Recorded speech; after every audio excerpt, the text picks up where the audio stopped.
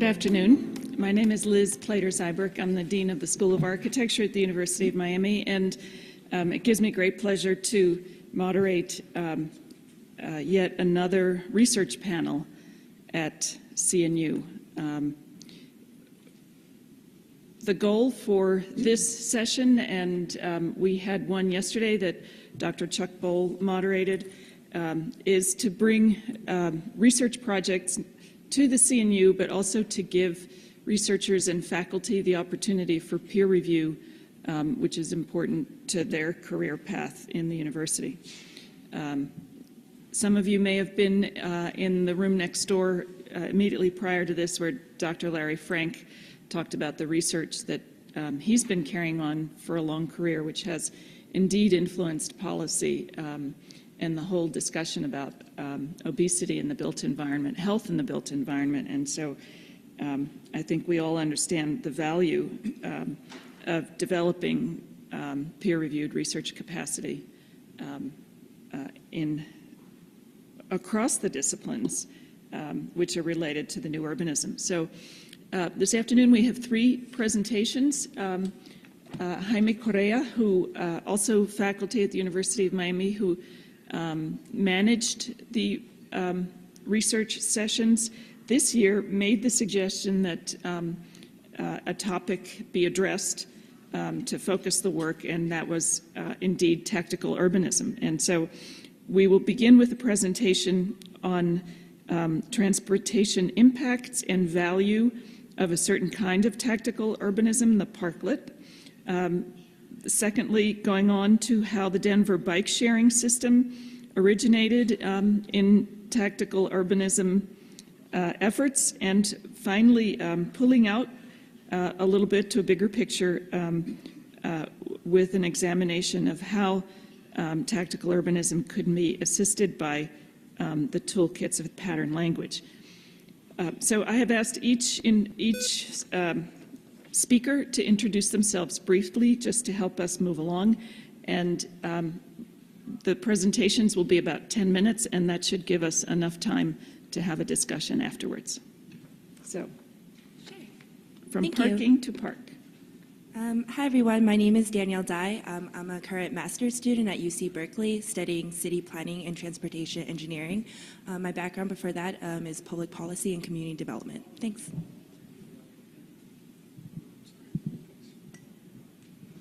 My name is Andy Duvall. I'm a research assistant professor at the University of Colorado, Denver.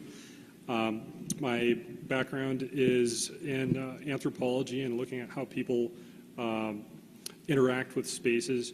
My uh, uh, doctorate is in health and behavioral sciences, and I was uh, an IGERT um, National Science Foundation uh, funded student.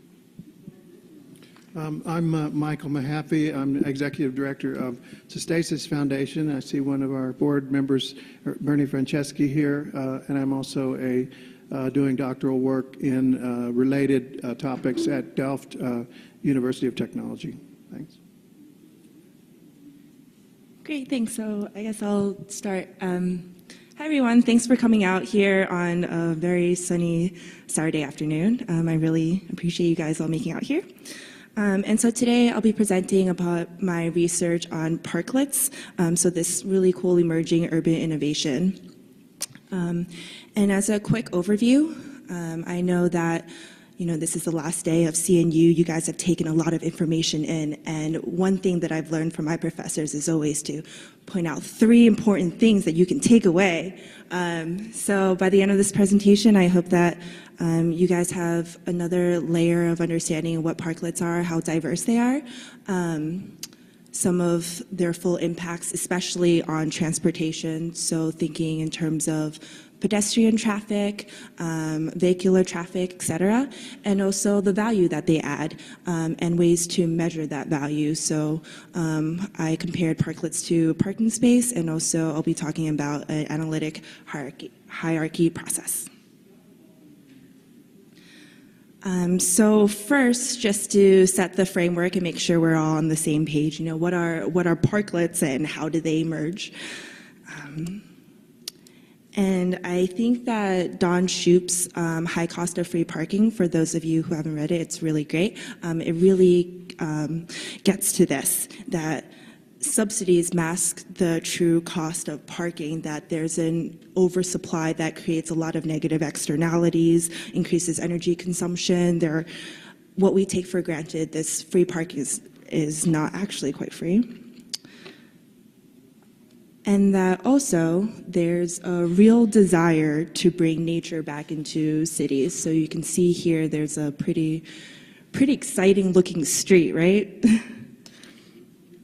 Um, so in 2005, um, San Francisco art and design firm Rebar Group, um, they installed a temporary park um, just for two hours in downtown San Francisco. So if you see here, that was the image before, and this is what they did, which is pretty awesome.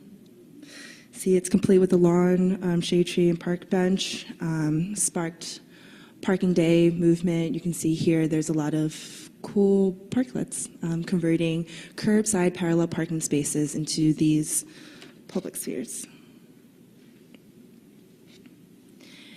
And what's pretty cool about that was, um, so Rebar Group, that was, um, that was in 2005, and um, San Francisco's planning department started a pavement to parks program, which seeks to identify these underutilized spaces and then turn them into public spaces. So not just for not just parklets, but also um, plazas, etc. So here's the San Jose Guerrero Park pretty beautiful.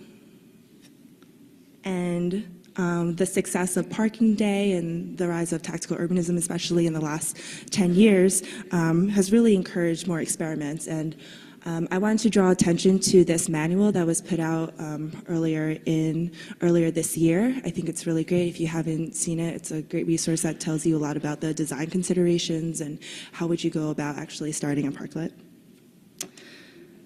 So that was um, the background on the diversity of parklets. And um, for me, uh, I just moved to the Bay Area and seeing these really fascinating, um, looking at the literature, it focuses almost exclusively um, about parklets as a placemaking tool. And I'm a, I'm a student of transportation. Um, I'm studying transportation engineering and city planning, and I come in with that lens. Um, so I think to myself, you know, more information is needed, especially um, when you're talking about something as sensitive as parking. People view parking as free, you know, like don't touch my parking. Um, so you can imagine that if you have a critical mass or like a critical number of parklets, how would that actually affect um, pedestrian traffic, vehicular traffic, and um, thinking in terms like what value um, do parklets add? So I come in with a lot of different questions that I'm trying to answer. Um, and so I did as what a lot of um, scholars do, which is to conduct a case study. Um, so I looked at San Francisco. Here's um, a map of from the planning department of all their tactical urbanism projects, and what's in green are the highlighted parklets. And I looked specifically at. Um, does this work? Yeah. Here. Um, so I looked at the Mission neighborhood in San Francisco. Um, for those of you who are from the Bay Area, it's yes, it's a very hipster area, but I chose that um, in particular because of the high concentration of parklets and also because of the availability of parking data, which I'll get to um, after. So I looked specifically at this one block that had three parklets on it. Identified here, Valencia Street, so Dolores Park. Um, so this this parklet um, is hosted by a bike shop, and it has a bike corral and also some seating. Um, this is the Deepistan National Parklet. It has an official Facebook page and everything. It's pretty great. Or it's also known as the Deeplet. Um, it's hosted by a San Francisco resident. Um, and then this is hosted by Blue Fig, a coffee shop, um, and it has um, tables and seats. And so, in thinking about um, how you would evaluate pedestrian um, traffic, uh, doing a very qualitative observation, there's the San Francisco Great Streets Project. Um, they had a bunch of pedestrian counts, pedestrian surveys to do like a before and after, before you construct a parklet, and afterwards, seeing how people engage with it, right? Do people, um, are they sitting there? Are they just passing through? What what are they doing? Um, so, following the same model, um, I observed the three parklets on the on that block um, and saw um, on an afternoon and an evening and just made lots of observations in the vein of like William um, Wyatt and um, Kevin Lynch. And what I found was that you know, parklets are extremely diverse, as you've seen, and not all are created equal. So going back here, um, the one hosted by the um, coffee shop saw the most activity. You know, they had seating and tables, and it's interesting to note that even though it's hosted by a coffee shop, I saw um, other people coming from other blocks with like different coffees. So it's it's still a fairly public sphere. Um, but the parklet that's a green space, so the Deeplet, I didn't see that many people stopping or using it. So um, just just need to point out um, in terms of that the design aesthetics affect um, pedestrian traffic. Um, and in looking at vehicular impacts, so analysis of the parking activity, um, I used SF Park data. So SF Park is a pilot program that started a couple years ago in San Francisco. It's a on-demand um, parking management system, so it dynamically prices parking spaces um, according to like how many people they expect to use it with the goal of achieving 85% occupancy rate. Um, and so using that data, I was comparing um, this 9 100 block on Valencia Street with other blocks on Valencia Street that didn't have parklets and seeing if there were um, any trends you can notice because you might expect that the blocks with um, parklets have different occupancy rates.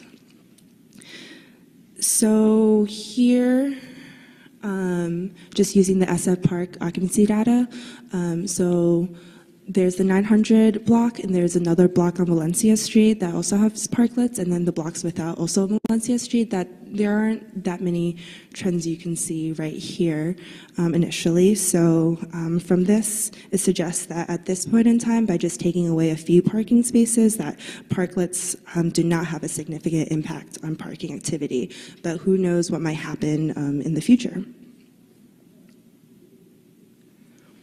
Um, so I talked a bit about thinking um, about the transportation impacts in terms of pedestrian traffic and vehicular traffic and like circling and parking spillover. Um, but so what is the value of a parklet compared to a parking space?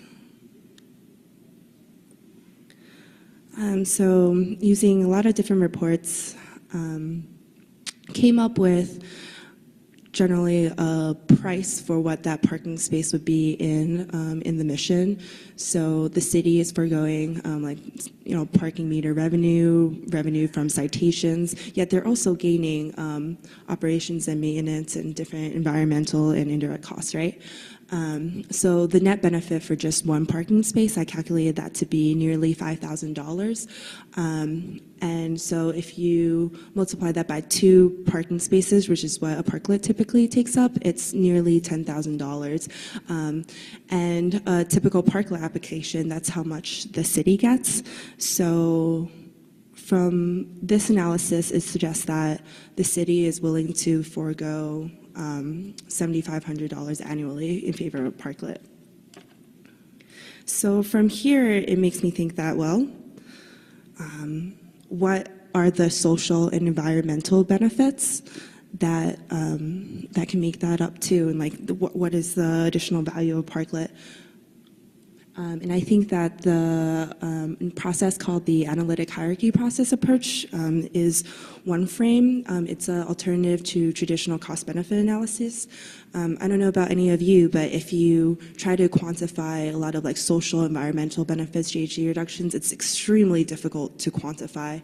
And um, I'm offering this as an alternative or as a new tool to a, a new metric and, a, and another way that you can think about it um, for a hypothetical parklet model for any type of uh, major decisions that you make.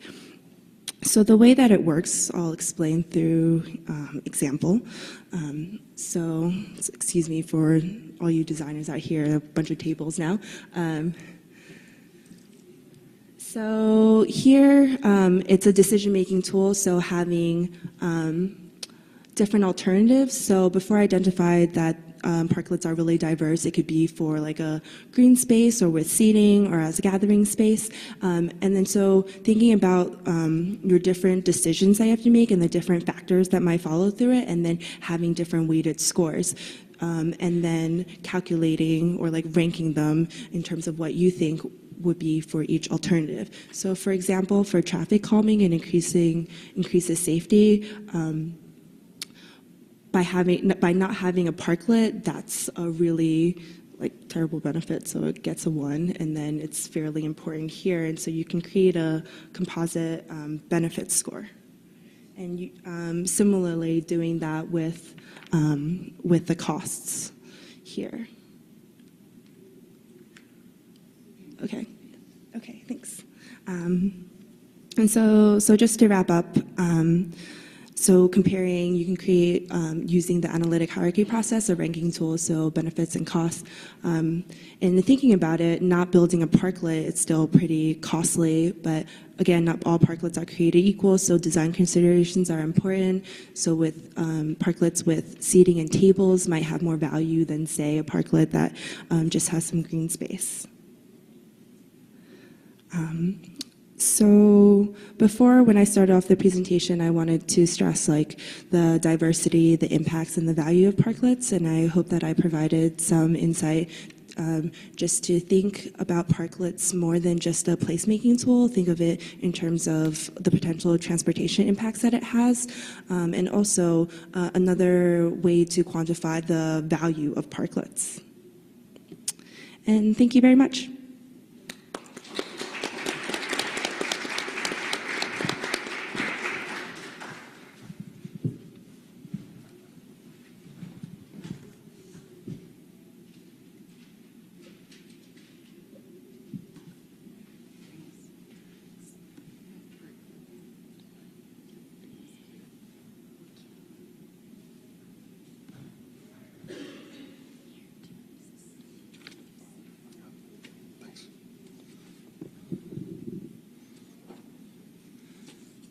Right, thanks. Um, uh, again, my name's Andy Duvall. I'm uh, here to share the story about how Denver got a bike sharing system. So, very quickly, a show of hands, uh, how many people know what public bike sharing is? Almost everybody, great. If you get a chance, you should definitely check out the Green Bike system here in, Salt Lake City while you're here. Um, so, first off, one Denver's one of the, the, the most car-dependent cities historically in the U.S. Um, so how did it end up with one of the first bike sharing systems in, in the country? And then how did this, this process end up uh, having a, a, a, real effect that started to uh, increase and, and modify uh, the, the, the share of bicycle mode share um, uh, throughout the city. Uh, starting in 2007, uh, well, Denver was chosen as the site for the 2008 uh, Democratic National Convention. And at the time, Mayor Hickenlooper uh, declared that it would be the greenest in the history of mankind. He's uh, a kind of flamboyant character, likes to make pretty bold statements. He's now the governor of Colorado. But at the time, um, that threw a lot of gears in motion to, uh, to, to try to define what that means and to, to uh, understand and, put into practice what a sustainable large event might look like. Uh, so one of the components uh, of, of this challenge uh, was taken up by bicycle advocates in the city and the area. Uh, they were very loosely affiliated at that time and not very professional, and this process helped change that quite a bit. Um, the initial idea uh, uh, came about through uh, the, the, at the time, recent opening of the Paris Velib bike sharing system. Uh, it opened during the summer of 2007. At the time in Denver, I was probably one of the few people who was aware of what public bike sharing was. And through some chance uh, contacts, I came into uh, to, uh, contact with some people in the Denver mayor's office who had an interest and uh, maybe putting in place a temporary bike sharing system for the, for the DNC and wanted to know if it's practical. So uh, that was in late 2007. The Democratic National Convention was in August of 2008. So the time period um, to make this happen was fairly quick.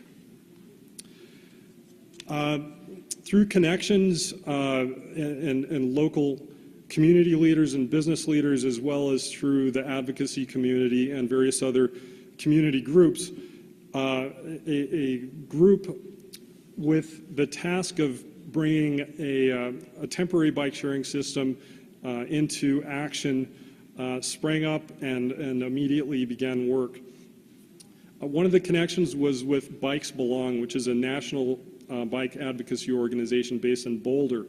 They were able to source uh, bikes from manufacturers, brand new bikes uh, that were donated for temporary use for the system. They came like this. Uh, they ultimately were able to provide a thousand bikes that were located at six automated stations. Now, the bikes came dealer ready, which means uh, that they required a fair amount of assembly and a lot of room to house the bikes. And so, uh, through community efforts, uh, a warehouse was located, uh, the use of which was donated by local business uh, owner, and a, wide variety of different types of volunteers came together to assemble the bikes, uh, to uh, choose station sites, and uh, this whole process really started to pull the community together. Ultimately, this is, uh, this is what happened. This is uh, the, the freewheeling uh, public bike sharing system. This is an example of one station located in central downtown. This was just prior to the, uh, the uh, convention taking off, and so it's not quite as fully populated. Um, but during the convention, uh, the six stations that were spread around in downtown uh, were, were very popular, and immediately it was perceived that this would be something great to have in the long term. And so the, uh, the group of advocates and, and organizers that came together decided uh, that this, this was something worth seizing, and so um, really pushed for a permanent system. Here's another shot of uh, the bikes at the DNC at one of the stations. Uh, a lot of bikes. Once the, once the system had, uh, had been in operation, uh, actually prior to, to the system being in operation, it started gaining momentum toward a permanent uh, long-term public bike sharing system. There wasn't an example existing in the US at the time, and so a lot of it had to be invented at the, the ground level. And many of the people involved uh, helped develop what bike sharing is in, in currently in the US, including um, the vendor that supplies the bikes uh, that are here in Salt Lake City, as well as many other places. Uh, one of the key initial uh, parts of, of bringing this to success was garnering political buy-in. Uh, Mayor Hickenlooper uh, became interested in the project and uh, consequently it was decided to uh, make a similar temporary system for Minneapolis for the Republican National Convention in 2008. And so there, there started to be a bit of a friendly competition between the mayors of the two cities. Uh, along with this, prior to the DNC itself, uh, the, the, the, groundswell of interest among the bike community um, led to uh, a planning charrette trying to envision what bikes meant uh, would mean to Denver in the future. Here are the two mayors and, and members of their staff riding during the DNC.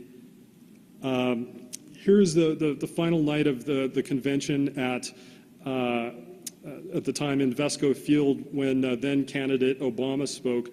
Uh, 1,500 bikes showed up from, from the, the, the population, privately owned bikes, as well as nearly half of the bikes that were in the temporary fleet.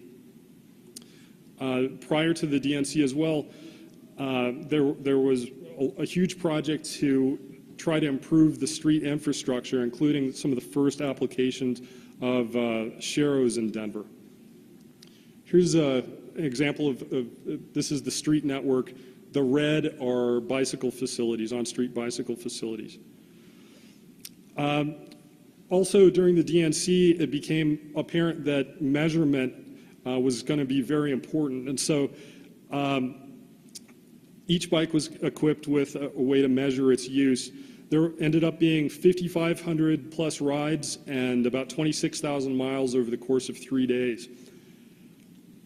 How many miles? Uh, 26,000. Uh, this is uh, an example of uh, a, a shot of, of some of the people that were commuting in and out of downtown. Uh, this, this project really started to build speed in the bicycle, um, bicycling community in Denver. It really solicited a lot of community involvement and provided helpful pressure from the outside for change in government uh, agencies and, and policies. Uh, bicycle facilities became desired and, and, even demanded in various neighborhoods without, throughout the city.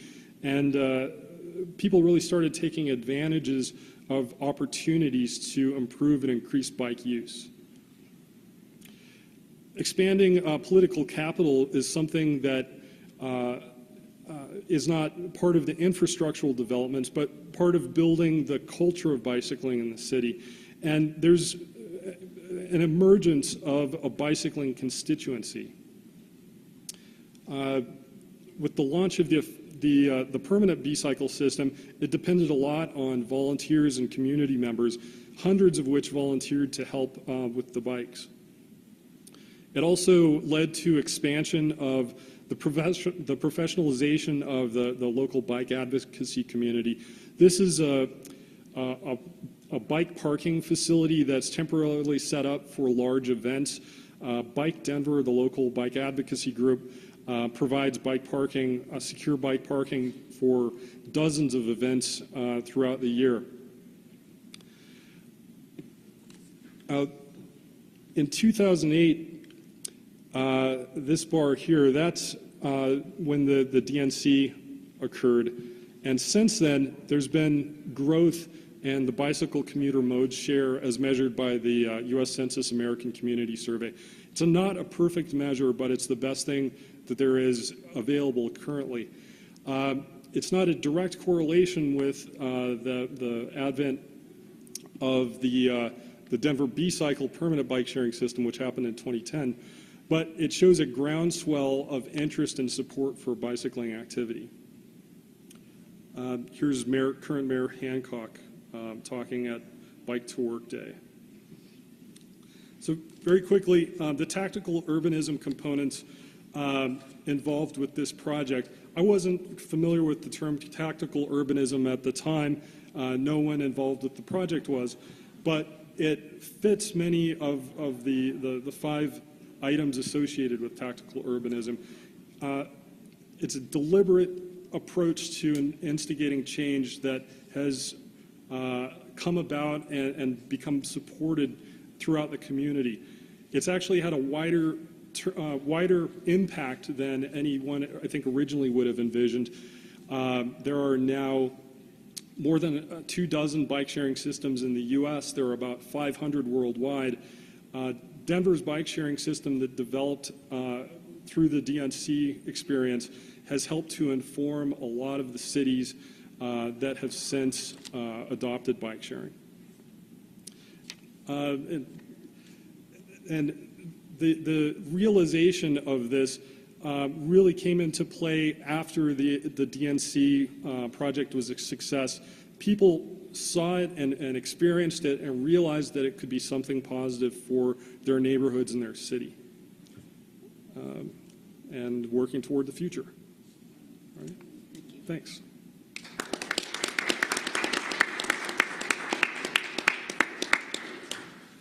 See if I can get-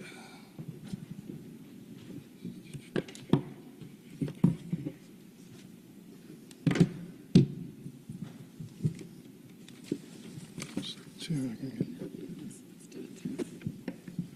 just right there. That should do it. Yeah, great. Uh, Good afternoon, everybody. Um, What I'd like to do is describe for you some research that um, uh, we've been doing. I mentioned earlier Sustasis Foundation and our colleague uh, Bernie Franceschi there, um, as well as uh, some other work uh, at universities, Arizona State, and uh, other institutions um, on using pattern languages as a specific tool and a specific way forward in tactical urbanism, and I'll explain what I mean by that. Um, I think the growing interest in tactical urbanism reflects uh, also a growing awareness that we're going to have to make urban changes more catalytically uh, as the Mike Lydon list uh, suggested, especially in an age of more limited resources. Uh, we're going to have to do more with less. Uh, and for a number of interesting reasons, uh, that's actually uh, a pretty positive opportunity. Uh, I'll discuss those reasons in a minute. Uh, but I'll argue that to do that, we need effective tools that can work together uh, in a kind of coordinated toolkit form. Um, and the tools have to be able to evolve and adapt to target specific requirements and barriers. Um, so I completely agree we need to see implementation of these, and we're working on that in some uh, projects uh, as well that I'll mention. Uh, but first, what I'll do is describe an example uh, of, of an approach aimed at meeting these requirements using an expanded system of pattern languages that we've been developing in this research. And as many of you probably know, pattern languages have uh, been quite effective in software design and in other uh, fields, although they've been neglected uh, in, for interesting reasons in the fields of urban planning and building design. Uh, but as I'd like to explore with you uh, now, I think this presents an intriguing opportunity for those of us in the built environment to learn from these folks and the uh, fabulous successes they've had and apply those lessons to tactical urbanism in particular. Um, I'll start by noting that all of the related emerging concepts and approaches of tactical urbanism and urban acupuncture, peer-to-peer urbanism, economic gardening, and so on, uh, follow the insight that was probably first discussed uh, most thoroughly by Jane Jacobs, uh, that urban planning and design are not linear sequential engineering processes. They require an understanding and, and an exploitation of the dynamics of self-organization, uh, an understanding, as Jacobs put it, of the kind of problem a city is. Uh, that problem is fundamentally one of managing a network of factors, not just one or two silver bullets. Uh, and so this requires a different way of thinking, uh, what Jacobs famously called a web way of thinking, um, and a different way of acting. Uh, we can't treat the city as a tree, as a kind of simple hierarchy from working from the top down, as Christopher Alexander uh, also pointed out in his landmark paper by that name. We have to see the city as a semilattice, as a, a mix or interacting factors that are uh, producing the outcomes that we see, whether those are good or bad outcomes. Uh, and these outcomes are generated through a complex interaction of incentives and disincentives, what we might think of as the kind of operating system uh, that governs the kinds of design and construction activities that can take place, and especially how much a certain kind of development activity costs uh, in relation to how much it's rewarded, whether it pencils and so on. And this operating system includes all the laws, the rules, fees, standards, and all the parameters that drive us all crazy in our work uh, but that ultimately do govern what can be done and where, and for what cost and reward, uh, both financial rewards uh, and other kinds of rewards. So we have to go after this complex network of barriers, the disincentives to good development and the hidden incentives for bad development, uh, like the uh, so-called externalities uh, that are subsidized by taxpayers in the future, uh, and really by all of us in the future. Um, so um, a, a, couple of the concerted steps that uh, I think we have to take to target these barriers uh, through a kind of a, a acupuncture strategy, if you will, were identified by my students when, in a research project at Arizona State. Uh, certainty in the entitlement process. Uncertainty equals risk equals cost. Uh, lower the relative cost of higher density projects by easing the, the regulatory requirements like parking, uh, work to reduce costs, streamline regulations for mixed use and infill development by coordinating what are often conflicting requirements, uh, work to overcome fragmented land ownership patterns by partnering with entities that can, can work in a more coordinated uh, way and assemble opportunity sites and so on, lead the playing field relative to suburban edge development, uh, excuse me, level the playing field uh, relative to suburban edge development by eliminating the often hidden subsidies uh, for uh, suburban edge development and requiring all development to pay its true cost to taxpayers and citizens, something that everybody can get behind, I think Tea Party and, and others. Examine fees and other pricing signals, uh, SDC costs and, and other things. overcome the chicken and egg problem of weak markets by identifying uh, strategic problems and going after those uh, tactically with things like farmers markets. Uh, compensate for lack of capital for larger, more conventional development projects by incentivizing smaller pay-as-you-go development uh, and preparing sites for incremental development. Again, this is where we really get into tactical urbanism. Um, so the approach here is to, to uh, go after all of those goals with specific tools and toolkits. They're out there. We all know many of these local improvement districts uh, tax increment finance, and so on. But they need to be made easy to use, simple, uh, regulations need to be streamlined. These things need to be made to work in a kind of plug and play approach. And the pattern language strategy is, lends itself very much to that. For example, taking the place, uh, as many of you may know, the place types system used for transit-oriented developments. If you take that as a kind of place pattern system and have sub-patterns that are all uh, able to be uh, used in different sites and to those local sites.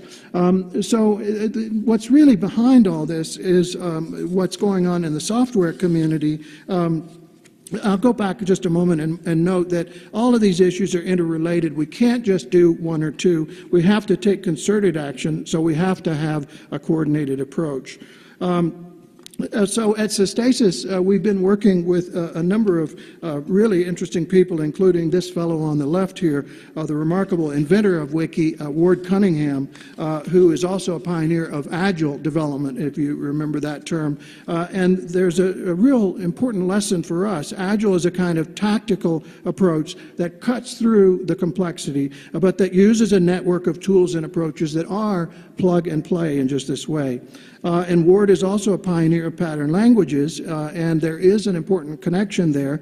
Pattern languages also provide this capacity to manage networks of factors and to achieve simpler and more elegant outcomes. And that's why they've developed such uh, usefulness, such power, really, in software uh, and led directly to such uh, useful inventions as Wiki uh, and other tools. So patterns and pattern languages provide an essential capability that's not easy to achieve with a more linear technology, the ability ability to create these functional networks uh, in both structure and in process in a, in a very simplified, coordinated way. Uh, so in the case of urban systems, we're also dealing with interconnected spatial networks, networks of, of place. And I want to talk just for a moment about that because it's an important difference from the software. Uh, this interconnected network pattern stretches across kinds of structure as well as scales of structure. For example, uh, street networks, uh, pedestrian paths, small and room-like uh, urban spaces, even building details all manifest this kind of network structure where the user can control and modulate the, uh, the uh, membranes, if you will, between these different uh, structural elements. And likewise, the processes that people undergo to structure spaces over time and the tools that they, that they use also manifest the characteristics of networks. Uh, all of these structures extend across a wide range of, of scales uh, and across a wide range uh, of, of scales of, of space as well as time. Here's this, this street in London that I showed you before, and what's interesting is uh, you'll see over eight years uh, the two shots were taken. Uh, there have been many more changes where the users themselves have come in and mutated, made small changes to the balconies and to their private spaces and to uh, railings and hedges and entryways and so on. So I think the job of us as tactical urbanists is not so much to make these mutations for the users uh, as to actually empower the users to make these kinds of mutations themselves as the kinds of agents uh, that are making the city, the autocatalytic, the self-organizing agents. In this way, the tactical urbanist is not specifying urban growth, uh, which is always going to be inherently limited as an approach, but is generating growth uh, on a possibly much larger and certainly more uh, complex scale uh, by providing the DNA, if you will, uh, that can generate this structure. Uh, so as I close, I want to show you just a few slides of some of the tools that we're developing, and I mentioned we're working on a few projects, including a DPZ project in eastern Washington, where we're using pattern languages uh, and, and using that as part of the charrette process. Very interesting results we're getting there. Uh, again, this is a spatial network. This is a, just to show you an example. Here's uh, Portland, Oregon. Uh, here's Italy. Again, these are spatial networks that the users are mutating and making changes over time. And I would argue that that's what's happening in the greatest cities that we know all over the world, and that's what's not happening in our uh, failing modern uh, segregated uh, uh, zoning. So we're doing paper uh, pattern languages. This is one that my students did at Arizona State, farmers market, town center pattern, really uh, good, good, sensible stuff. Other kinds of pattern languages based upon the computer that give people the ability to work with the language as a kind of a wiki, a community design wiki. This is what we did in New Orleans when we were working on these concepts, giving them pre-approved plans and readiness diagnostics, ways to really simplify and understand and make this very intimidating process user-friendly so the homeowners and the business owners themselves could start uh, repairing and rebuilding their homes. Uh, just to mention, uh, uh, talking about bicycles, uh, uh, we looked at the, with the city of Portland a bicycle pattern language system, also a biophilia pattern language system, which is taking some of the insights from healthcare design, applying those to urban systems on a broader scale, uh, and again with the, the mini parks and all the other things that we um, uh, are, have been talking about today. Uh, what's also interesting is Ward has uh, integrated the capability to handle data with patterns so that the patterns can exchange data between each other and use that as very rapid and efficient uh, scenario modeling, very simple and easy to use. This is work he did for Nike doing their sustainability metrics. So I'm working now on uh, an urban sustainability thing looking specifically at carbon, but it could also be looking at other uh, uh, issues. For example, if you could give people handhelds and have them go out and do measurements of their own community and, and do this kind of crowdsourcing uh, measurement work. Uh, you can, uh, there's a number of other uh, kinds of tools that uh, are very exciting, we think, uh, in terms of the capability of computers, uh, particularly when they're distributed and they empower people to be these kind of catalytic tactical urbanists. So again, we think this is very exciting work, and we'd love to talk to those of you who are interested in, perhaps collaborating with us. Thank you.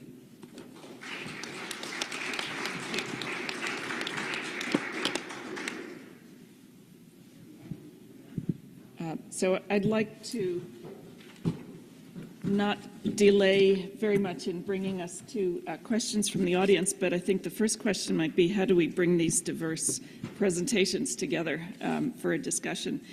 Uh, So uh, I found it kind of interesting that the first two really were about um, individual efforts, from the very smallest effort that a cafe owner might be able to do in front of their, um, a cafe operator in front of their business, to uh, something that requires a little bit more coordination, um, and in fact spoke of a, a, a process of people coming together to decide to do the bicycle system, to uh, an approach that's really a kind of societal um, uh, tactic um, uh, of how to get, how to enable, you use the word, to, um, for people to be able to make changes quickly.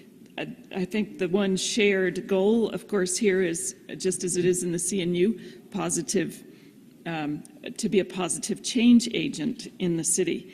And um, the, I think the two examples that we saw were um, remarkable for the speed with which, and of course that's an aspect of um, tactical urbanism, with which some um, action or goal could be implemented. Um, uh, both projects, the parklets and the bicycles, being less than a decade, and probably even less than that, but from the time of inception and thinking about it and being able to look back on um, uh, the achievement. Um, and so doing something in less than a decade is really an achievement in the city, I think.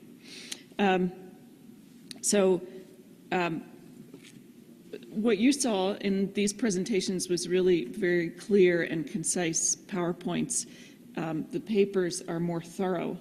Um, and uh, if you're interested in them, you might find them, I think, on the CNU website, if not now, soon. Um, but I'd like to start with a question for Andrew, and then maybe we'll go to the, you all can be thinking about your questions.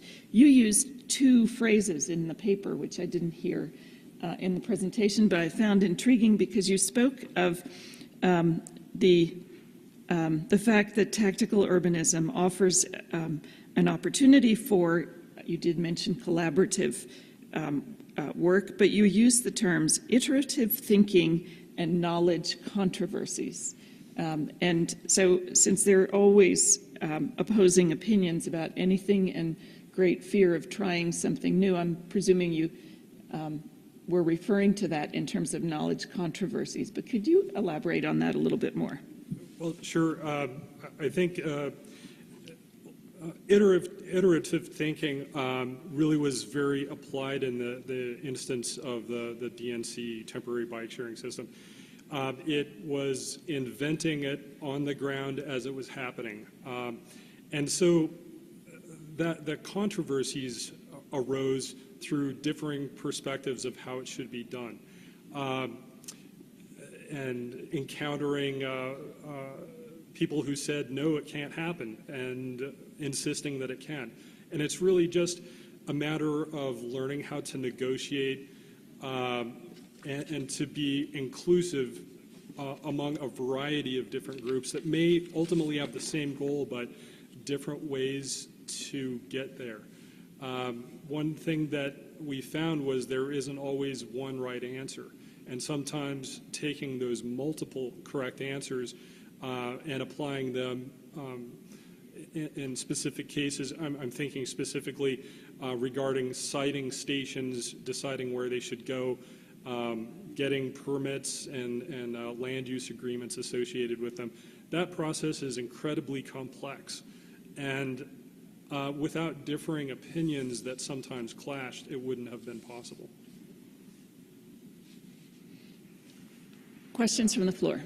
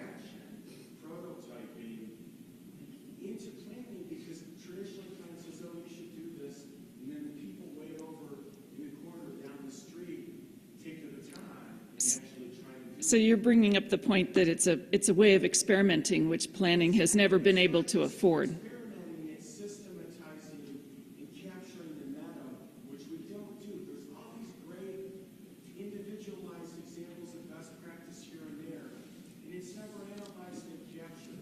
And I work in bike sharing, and that is one of the problems with bike sharing. We define everything as a success. We don't learn. Thank you. I think I should ask everybody to identify themselves. We like to get to know each other. Yes. Pardon me? I'm Richard Lehman from From, Washington.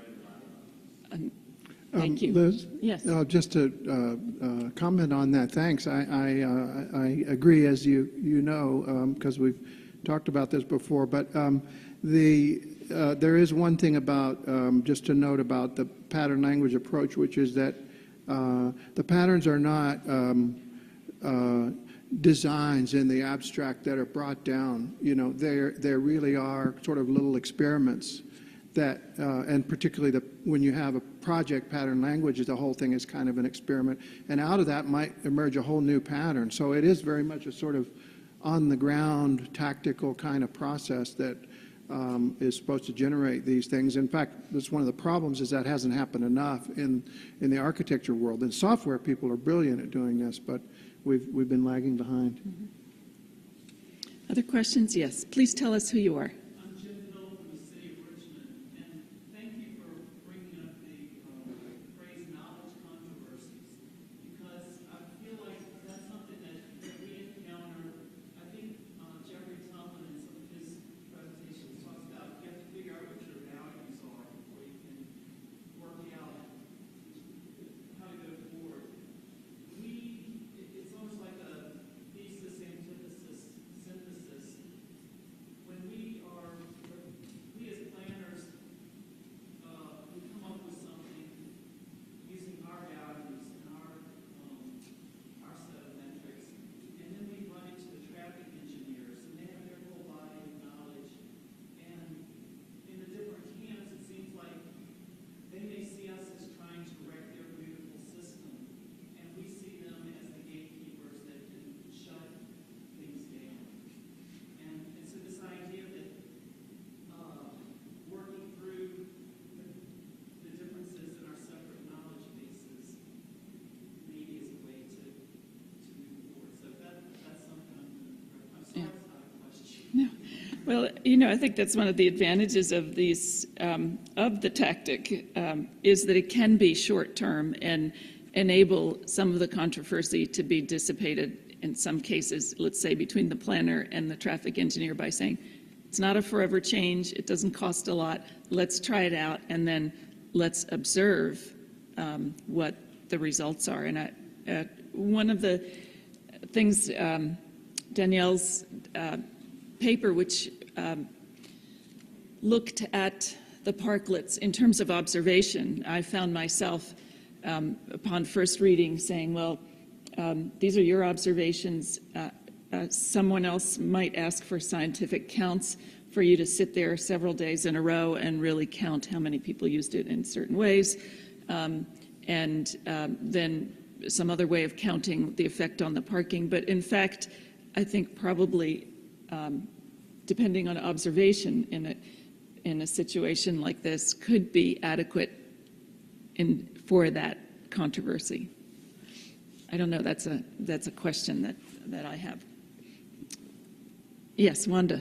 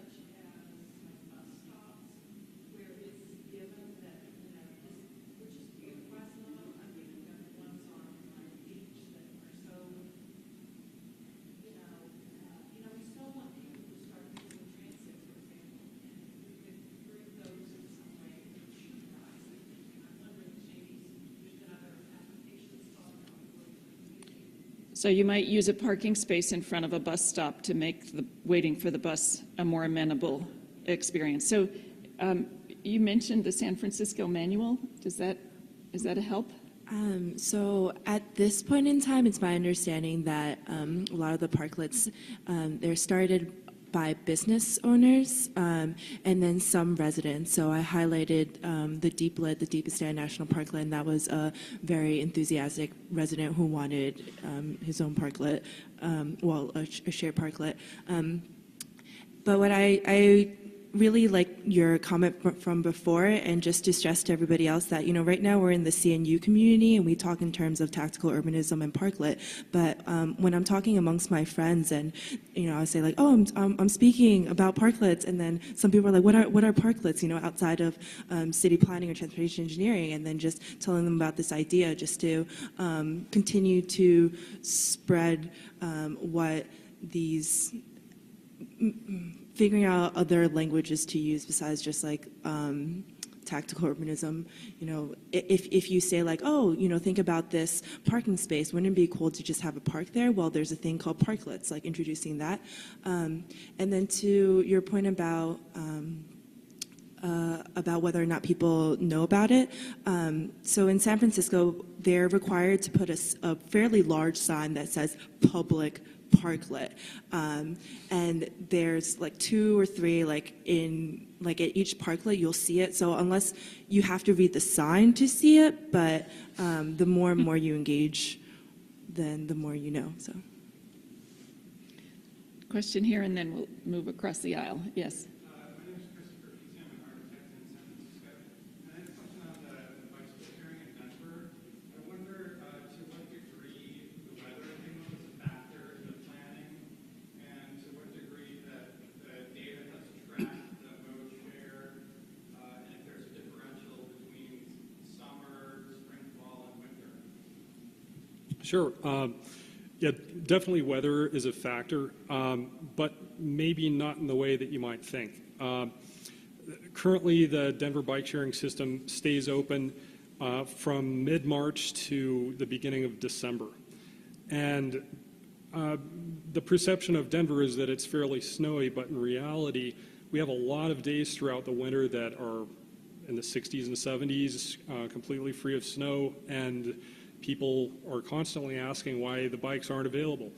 I think there is a strong demand uh, to have the system stay open year round.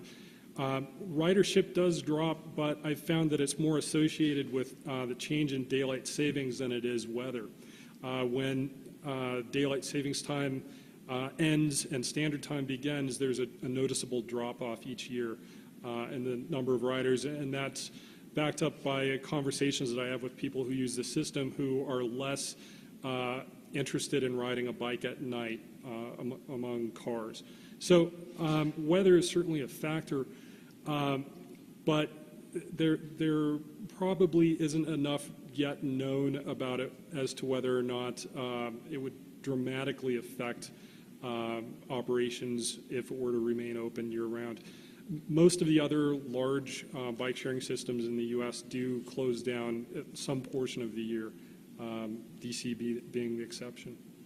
So, Michael, on hold on a second. Uh, One question, because this was a question about data, too. Oh, yeah. Is the data continuing to be maintained, and who, who, who's managing it? Because that's a kind of interesting Uh, sure. aspect. If you're going to try something out and say, we want to do it, maybe we want to do it for a longer term, um, somebody has to Sure. be uh, managing that. During the DNC, all data were manually entered each time a person checked out a bike and returned it. That's a tremendous amount of work.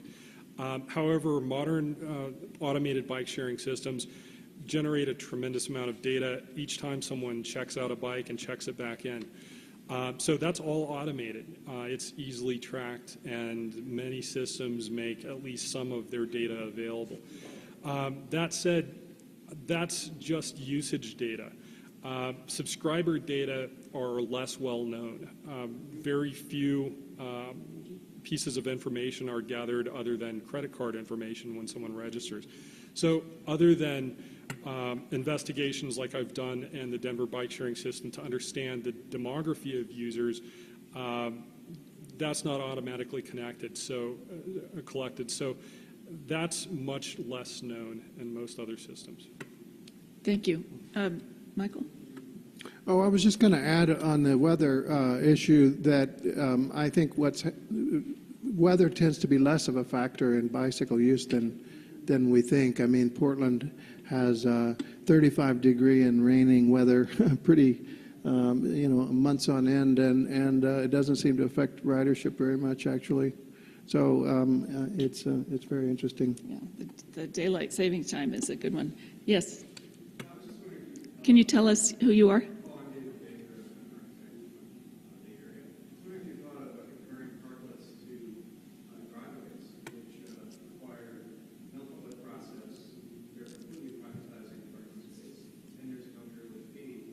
So I'm, I'm just curious about the explanation of how much a parklet costs, but you put a driveway next to that, would that be in their thousands, thousands?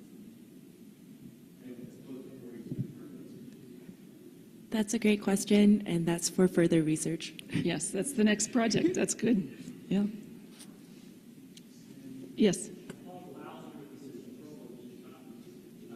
Danielle, San Francisco has some of the reputation for quirkiness, Yes. and I can see how parklets maybe started out as a solution to a very practical need, but has it also turned into a kind of an aspect of the city's brand, helping to work your city's brand, and becoming a tourism strategy? Is that an un- unintended consequence, or do you think that was thought about when the parklets were first initiated? Um, I don't think that was first thought about um, initially because it, it was really a group of artists, right, and um, design folks who just wanted to improve their space. And then um, I think that because San Francisco as a city is fairly progressive, um, the planning department started the Pavement to Parks program, um, so really leading the way there. Um, as far as tourism, um, I'm not quite sure I have numbers or how you would quantify um, if there's a if there's a significant increase in that way, like what me- measures would you use? But um, yeah, it's it's very cool. I like it. The tourism question, I think, brings up the- what opportunities are there for programming tactically um, public space um, in, a- in some more directed way.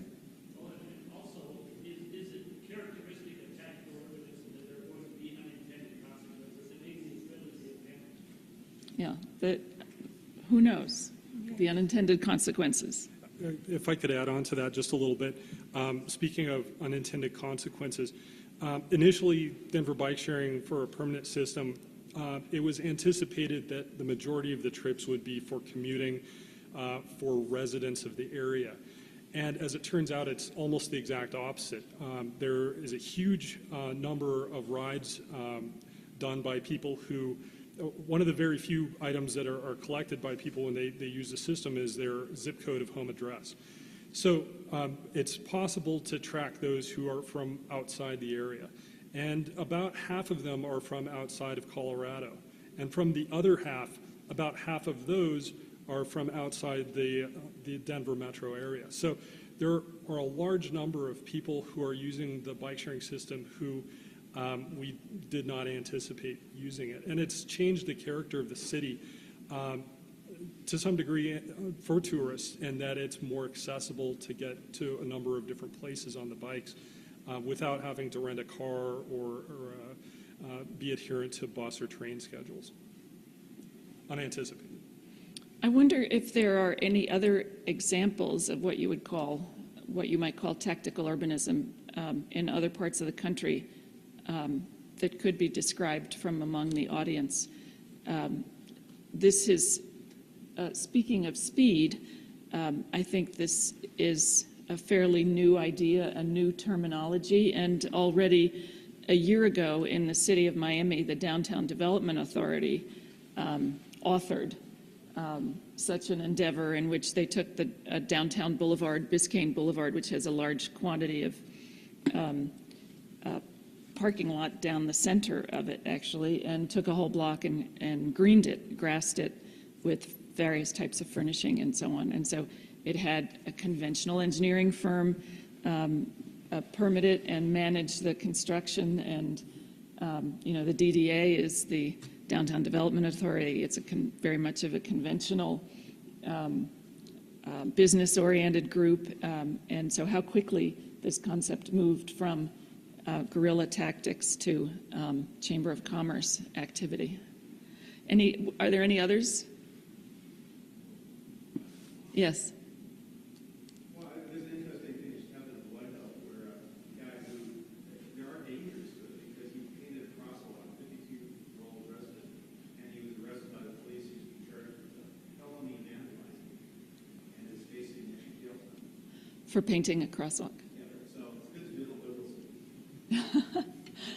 Yes.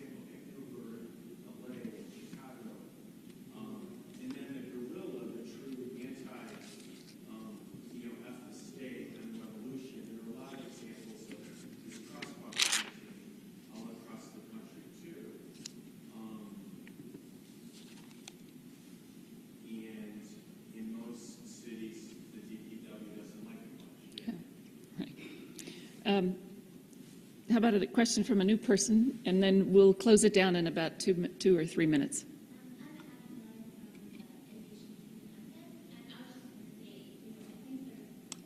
If you stand, it might be easier for us to hear you. Thank you.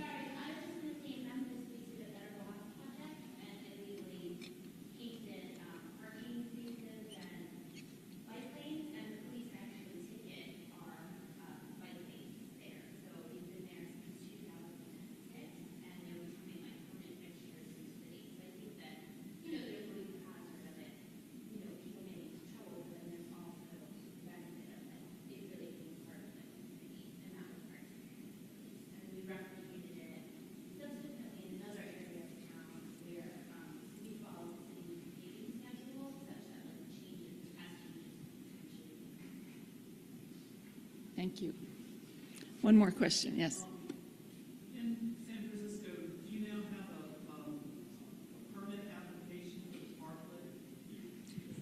Yeah, it's a official like request for proposal. So they they released um, what in the park the parklet manual goes through all of that. So there's I think two call for parklets, um, and then you have to like submit all the architect's drawings and um, and yeah, there's a whole process. And I think they're in their third cycle now. Perhaps learning from food carts. Anyway, thank you all for being with us. Um, I think we still might have a few more minutes if you'd like to speak individually with the presenters. Um, thank you.